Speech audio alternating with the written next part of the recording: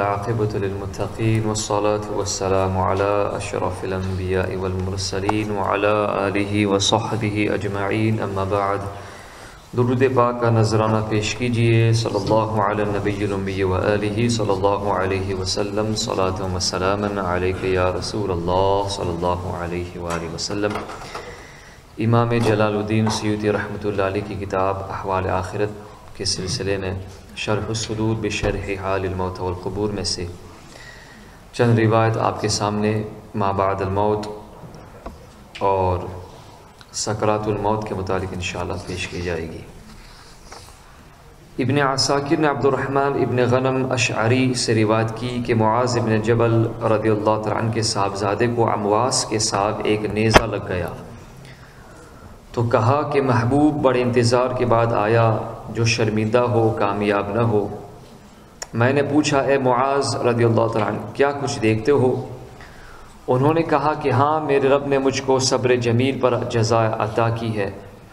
मेरे बेटे की रूह मेरे पास आई और मुझे बशारत दी कि मोहम्मद सल्लल्लाहु अलैहि वसल्लम मलाइक मुकर्रबीन और शहदा और सालहीन की सौ सफ़ों में खड़े हुए मेरे लिए दुआए रहमत कर रहे हैं। और फरिश्ते मुझे जन्नत की तरफ़ ले जा रहे हैं, ये कहकर बेहोश हो गए। मैंने देखा कि वो हाथ बढ़ाकर गोया किसी से मुसाफहा कर रहे हैं और कह रहे हैं, खुश आमदेद, मैं तुम्हारे पास आ रहा हूँ। ये कहकर उनका इंतकाल हो गया।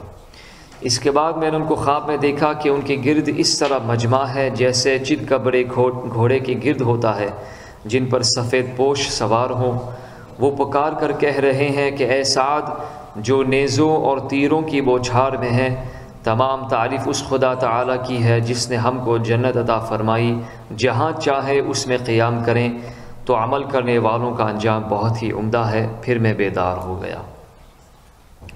इबन अबी दुनिया और बैहकी ने शुअबुल ईमान और अबू नुआम ने हज़रत मुजाहिद और रदी तु से रिवायत की कि जब भी कोई शख्स मरता है तो उसके साथ ही उस पर पेश किए जाते हैं। अगर वो साथी उसके दोस्त जिनके साथ उसकी दोस्ती थी संगत थी सोहबत रहा करती थी अगर वो अहल ज़िक्र से है तो ज़िक्र वाले और अगर खेल कूद तमाशे वाले होते हैं तो वो पेश किए जाते हैं। तो इससे हमें पता चला कि दोस्त भी हमें अहल ज़िक्र वाले बनाने चाहिए और उनकी संगत रखनी चाहिए उनकी सोहबत में बैठना चाहिए ताकि सकरात मौत के वक्त भी आ, वो हमारी मदद कर सके। इबन अबी शैबा ने अपनी सनद से यजीद इबन अमर से रिवायत की कि जब भी कोई मरता है तो उसके अहल मजलिस उस पर पेश किए जाते हैं। अगर खेल कूद वाले हैं तो वो और अगर अहल ज़िक्र हैं तो वो पेश किए जाते हैं। अब उन लोगों की, उन लोगों के बारे में बयान किया जाता है कि जिनको अयाज़न बिल्ला मरते वक्त कलिमा नसीब ना हुआ और कलीमे की जब तलकीन की गई तो उन लोगों ने क्या जवाब दिया?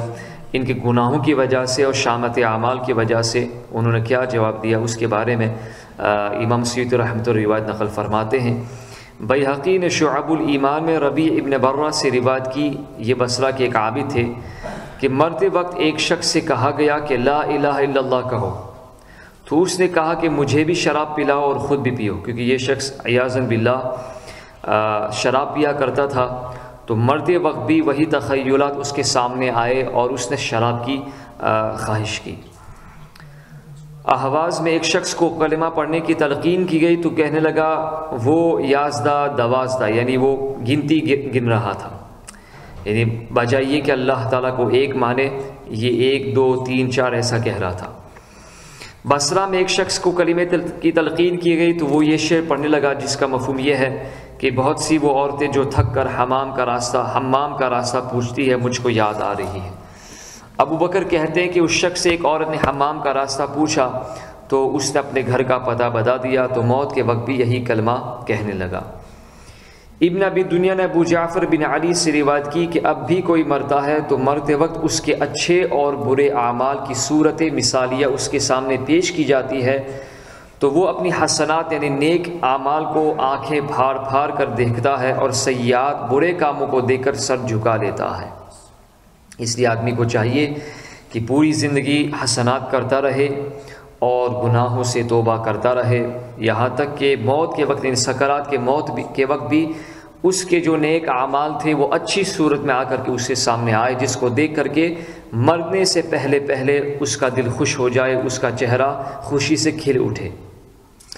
हसन अल्लाह ताला के कौल यूनबउलसान बिमा कदम व अखर की तफसीर ये बयान की कि मौत के वक्त उसकी हिफाजत करने वाले फ़रिश्ते उतरते हैं और अच्छाई और बुराई को पेश करते हैं जब मुर्दा अच्छाई को देखता है तो उसका चेहरा खिल जाता है और जब बुराई को देखता है तो चेहरा मांद पड़ता है और तुरश रुई इख्तियार करता है हंजला बिन असवद रदी अल्लाह से रिवायत है, उन्होंने कहा कि मेरे ग़ुलाम के मरने का वक्त आया तो कभी वो अपना सर ढकता था और कभी खोलता था। तो मैंने हज़रत मुजाहिद रदी अल्लाह से ये बात बयान की कि मेरा ग़ुलाम जो मर रहा था, सकरात मौत के आलम में था, कभी वो अपना सर ढक लिया करता था, कभी खोल दिया करता था तो क्या वजह है?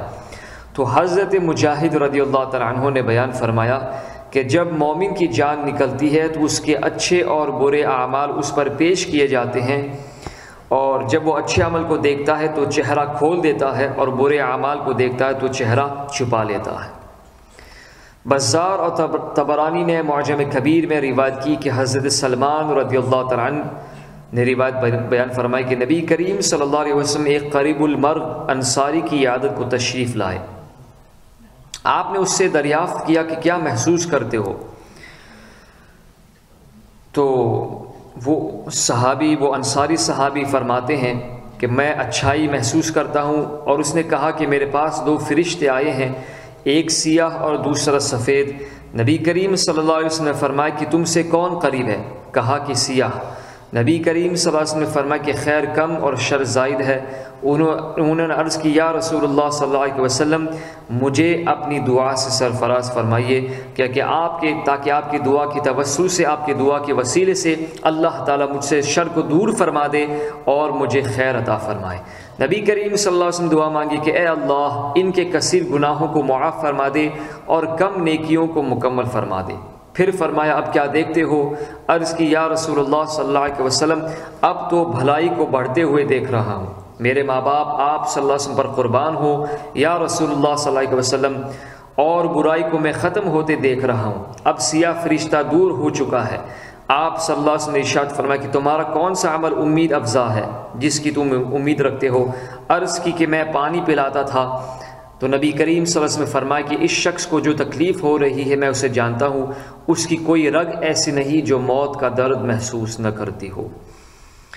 तो हमें भी अल्लाह ताला नेक अमाल करने की सालत और तोफ़ी अदा फरमाए।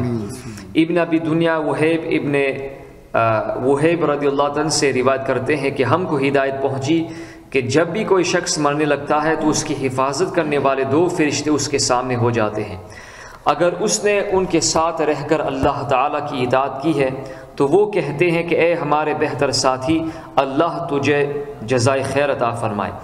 क्योंकि बहुत सी सच्चाई की महफिलों में तू हमारे साथ शिरकत करता रहा और बहुत से नेक कामों के वक्त तूने हमको बुलाया और बहुत सी अच्छी बातें सुनाई। कुरानशी की तिलावत सुनाई, ज़िक्र असकार सुनाई, नबी करीम सासम की नातें सुनाई, नबी करीम सासम पर दुरुशी पढ़ना सुनाया। सुबहान अल्लाह तो ये सारी चीज़ें ये फरिश्ते ज़िक्र करते हैं। और अगर मरने वालों, मरने वाले ने इन दोनों फरिश्तों के साथ अच्छा सलूक नहीं किया, गुनाह किए, और अल्लाह ताला के अहकाम की ख़िलाफ़ वर्जी की तो ये तारीफ़ी कलमात ही पलट देते हैं और कहते हैं कि तुझे खुदा जजाय खैर न दे, क्योंकि तूने हमारे साथ बहुत सी बुरी मजलिसों में शिरकत की और बहुत से बुरे काम किए और बहुत सी बुरी बातें सुनाई। आपने फरमाया कि मुर्दा उन्हें उन्हीं दो फरिश्तों को देखकर अपनी आँखें फाड़ता है और ये दुनिया की तरफ़ फिर कभी न लौटेगा। अल्लाह ताला हम सबको नेक अमाल करने की तोफ़ी अता फ़रमाए। अल्लाह ताला मौत से पहले हमें तो नसूहा की तोफ़ी अता फ़रमाए। अल्लाह ताला हम सबको ईमान पर ख़ात्मा नसीब फ़रमाए। सल्लल्लाहु